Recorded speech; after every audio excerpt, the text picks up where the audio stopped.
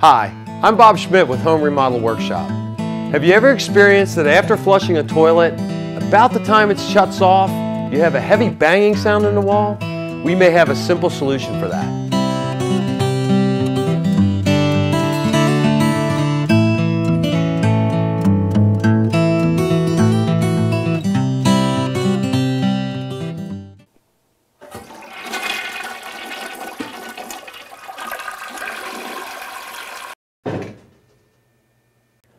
This is a typical fill valve found in the back of most toilet tanks.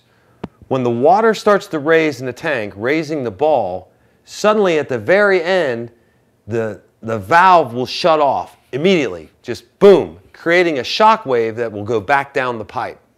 Now what this is, is a toilet fill valve with a slow shut off valve.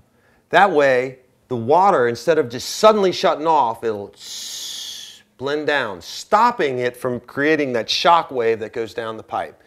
This could lessen your problem. Now be real careful when you go to your plumbing supply house.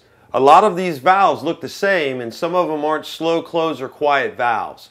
Make sure you're getting what you pay for. Oh, and as a little side note, some people who have this problem in their house, they also have a problem with their washing machine. Exact same thing. They actually make what they call a shock arrestor that can be put in your water line, which is like a shock absorber for the shock wave. Uh, any plumber could easily put it in, or if you know how to solder yourself, you could possibly do that. And speaking of that, we have a video out on soldering. You could check that out. Uh, if you want to see all of our videos, please subscribe to us. We're up in the corner. Uh, that's about it. Have a nice day.